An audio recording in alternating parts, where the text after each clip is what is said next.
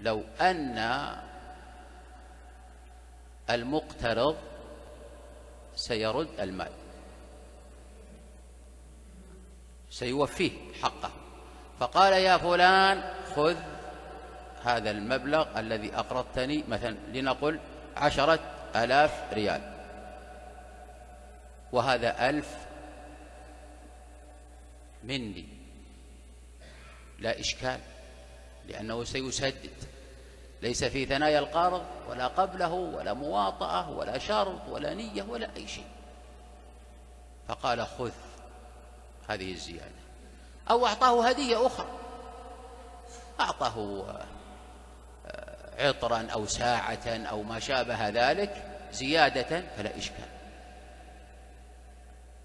ولذلك النبي عليه الصلاة والسلام قال كما في الصحيحين إن خيركم أحسنكم قضاء. لما تقضي الشخص وتوفيه حقه آه، تحسن إليه. ولذلك لما استسلف النبي عليه الصلاة والسلام بعيرا فأتى صاحبه لكي يسترده. فقال النبي صلى الله عليه وسلم ابحثوا له. فوجدوا شيئا أثمن وأكبر وأنفس منه.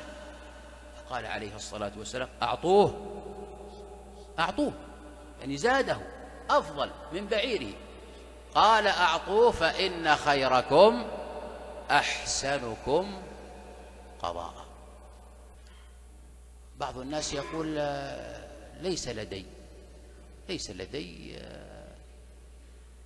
ما أهدي. نقول الدعاء.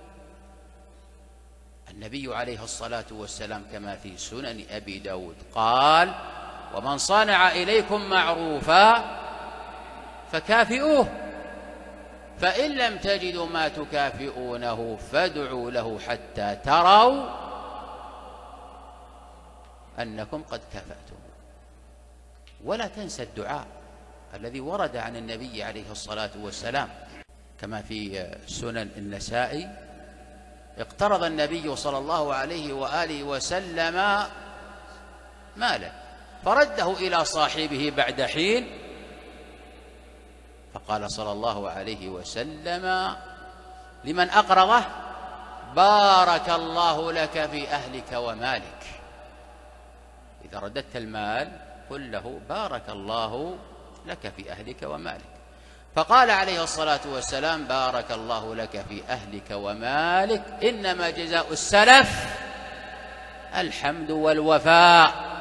الحمد الثناء على هذا الشخص والوفاء. ما هو المماطلة كما يفعله بعض من الناس وللأسف يأخذ أموال الناس ويحسنون إليه وإذا به يجني عليهم.